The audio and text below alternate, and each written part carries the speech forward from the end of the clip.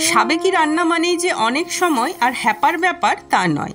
তাহলে চলুন এরকমই একটা রেসিপি আজ শিখে নিই। প্রথমে একশো পঁচিশ গ্রাম কাঁচা মুগ ডাল ধুয়ে নিচ্ছি।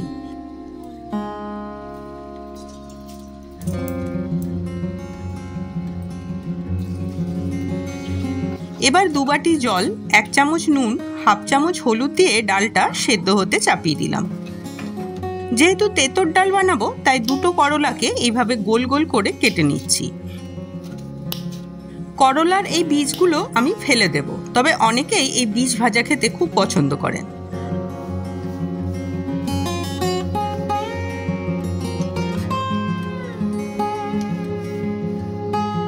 ডালটা ফুটে উঠলে এই যে ফেনা হচ্ছে, এগুলো হাতার সাহায্যে ফেলে দিচ্ছি।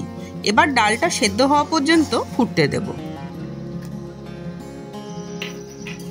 দশ থেকে বারো মিনিট পর দেখুন ডালটা সেদ্ধ হয়ে গেছে, কিন্তু একদম গলে যায়নি।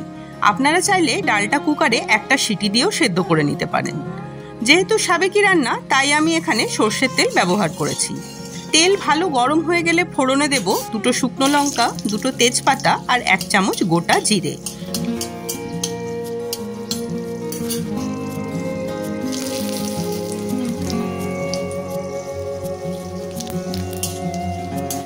ফোড়নে সুন্দর গন্ধ বেরোলে কেটে ধুয়ে রাখা করলাগুলো দিয়ে ভাজতে থাকব।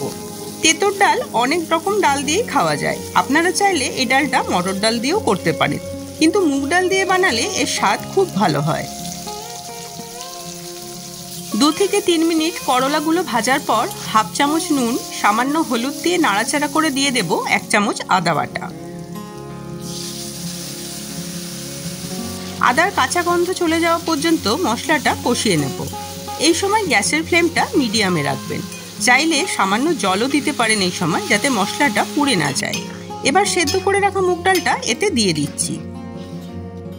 সমস্ত কিছু ডালের সঙ্গে মিশিয়ে ভালোভাবে ফুটে ওঠা পর্যন্ত অপেক্ষা করুন। ভালো করে ফুটে উঠলে হাফ চামচ চিনি আর এক চামচ ঘি দিয়ে মিশিয়ে নিলেই তৈরি অমৃত স্বাদের এই তেতর ডাল। গরম ভাতে প্রথম পাতে পরিবেশন করুন এই ডাল।